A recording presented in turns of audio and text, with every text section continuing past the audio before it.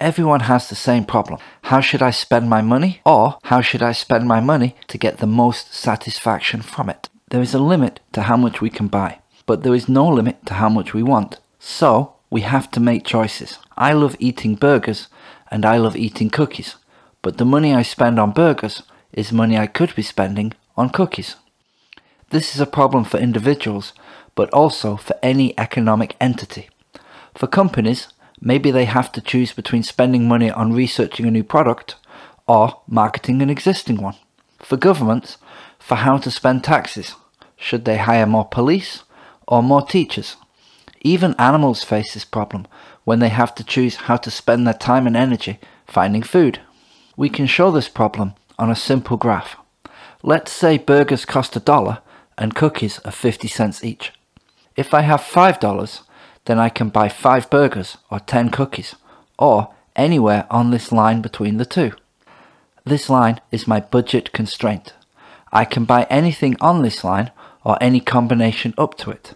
I could buy 2 burgers, 2 cookies, and keep $2. But I can't buy anything beyond this line. I can change where the line is. Maybe I get 5 more dollars, so the line is now here.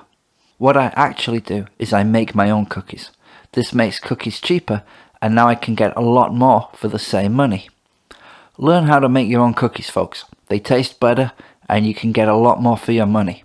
This is not a cooking channel though. The point is that there will always be a line somewhere and we will always want to get the best satisfaction we can with the money we have. In our last video, we looked at indifference curves.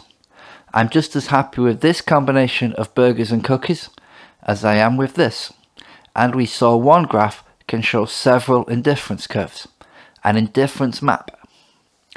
To show which choice brings the most utility to the consumer, we draw their budget constraint and their indifference curves on the same graph.